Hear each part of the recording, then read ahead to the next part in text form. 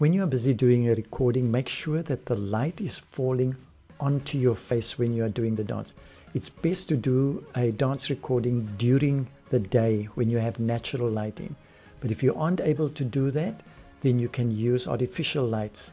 But just make sure that the lights are not captured in the shot that you're shooting. The only thing that should be in the shot is the dance that is happening.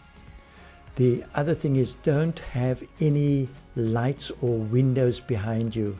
Preferably you want to have a plain background. I'll show it in another snap. When it comes to the cameras themselves, I've got two examples here. One is on a tripod, we're using a phone, and the other one is on a makeshift uh, set of uh, books or a box. We have a tablet over there.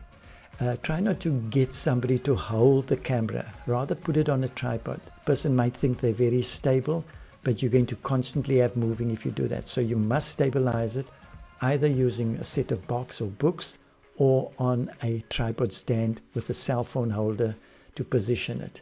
The other thing that is important is the positioning of the camera in relation to where you are.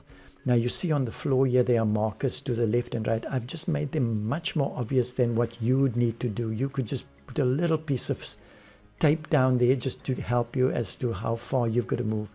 So the ones on the sides are how far to the left you've got to move. The one in front is how far forward you're going to move.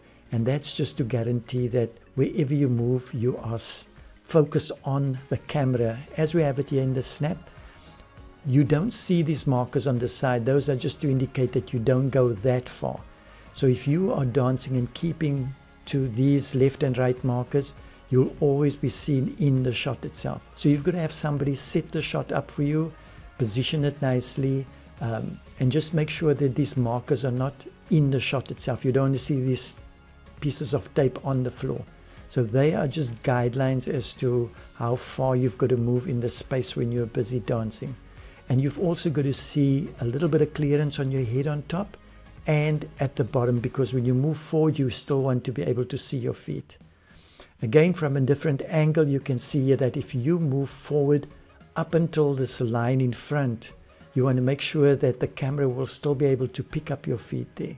So if you find you move a meter away from this area and your feet is disappearing, then you rather move the line backwards so that you know wherever you move, you are captured fully in the entire screen of the camera itself. The other point that is good to do is to have a central point, a homing point, which is a little cross or a little mark you can make that whenever you finish with certain moves, you can come back to that point and being on this spot here, you know that you'll be captured fully on the camera. You'll be positioned in the middle of the camera and you can always move from this point out to other points. The other part that is essential also is to know that when you're doing the dance, make sure that you have a plain background, not have doors or bookcases or things that are going to distract when you're busy with your session. And if it's possible that you have an area that's maybe got a couch here, it mustn't be in the view of the shot that you're shooting.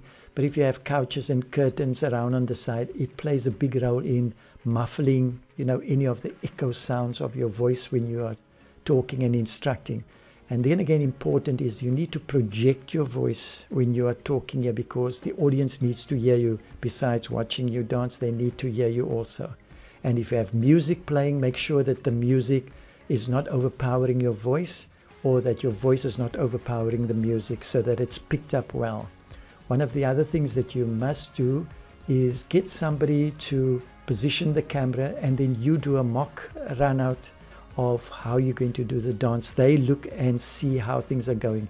And for them to monitor it for the first minute or two while you're busy with your recording so that they can see that you are staying within the scope of the recording, the camera itself. And once you're happy with that, then they can leave the camera unattended and you can carry and do the recording totally. Because if you don't do that, you might right from the word get go move out of the scope of the camera and you do your entire training and only discover afterwards that you haven't recorded, you've moved off camera. So hopefully that helps you to set up a good recording